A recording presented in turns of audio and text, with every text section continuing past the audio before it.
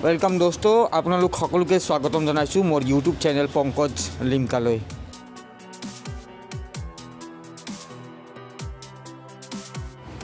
আজি আপোনালোকক ক'ম এবিধ বিশেষ গছৰ বিষয়ে আৰু মানৱ জীৱনৰ ওপৰত ইয়াৰ প্ৰভাৱৰ বিষয়ে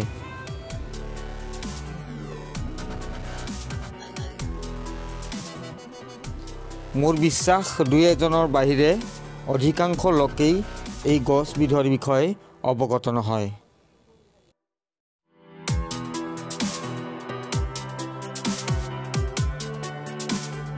মানৱ জীৱনৰ দৈনন্দিন জীৱনৰ যি নিত্যনৈমিত্তিক কাৰ্য তাৰ এক অবিচ্ছেদ্য অংশ হৈ পৰিছে এই গছবিধ।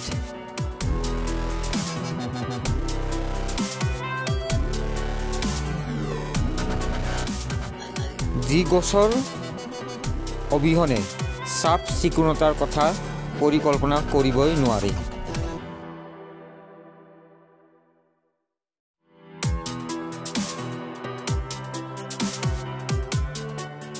হয় মানৱ জীৱনৰ এক অবিচ্ছেদ্য অংশ হৈ পৰা দৈনন্দিন জীৱনৰ সৈতে জড়িত হৈ পৰা এই বিশেষ গছবিধ হৈছে ফুলঝাৰু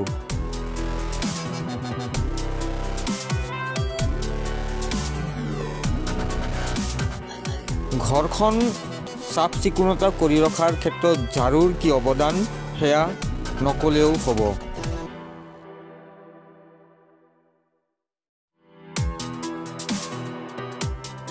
পিছে ইয়াৰ সৈতে জড়িত হৈ এতিয়া গোৱালপাৰা জিলাৰ ধনুভঙাৰ দুগৰাকীকৈ মহিলা স্বাৱলম্বী হৈ দেখুৱাইছে এক উৎকৃষ্ট নিদৰ্শন।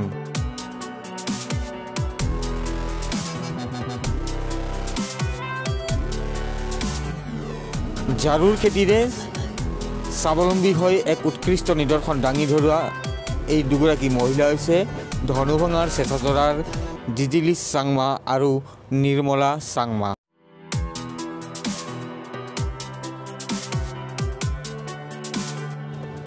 জিজিলিছ চাংমা আৰু নিৰ্মলা চাংমাই বিঘাই বিঘাই মাটিত ঝাৰুৰ খেতি কৰি আজি কেইবা বছৰৰ পৰা তেওঁলোকে উপাৰ্জনৰ পথ হিচাপে বাছি লৈছে আৰু লগে লগে স্বাৱলম্বী হৈছে নিজেও।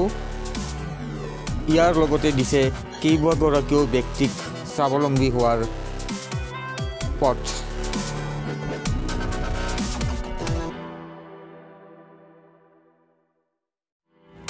শুনি আচৰিত হ'ব যে এই ফুলঝাৰুসমূহ এতিয়া কেৱল অসমৰ মাজতে সীমাবদ্ধ হৈ থকা নাই ইয়াৰ ৰপ্তানি বহিৰাজ্যলৈ হয়।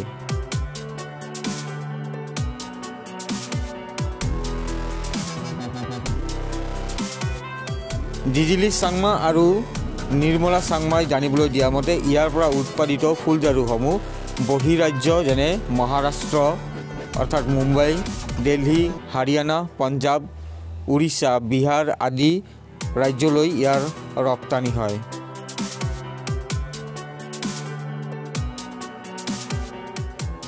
এই সময়ত এইসমূহ ৰাজ্যৰ একাংশ ব্যৱসায়ী আহি ভিৰ কৰি এই উক্ত অঞ্চলত আৰু ইয়াৰ পৰা উৎপাদিত ফুলঝাৰুসমূহ লৈ যায় তেওঁলোকৰ ৰাজ্যলৈ আৰু ইয়াৰ এক ব্যৱসায়ৰ সৈতে জড়িত হৈ এতিয়া স্বাৱলম্বী হৈছে জিজিলিছ চাংমা নিৰ্মলা চাংমাৰ লগতে বহুকেইগৰাকী মহিলাও।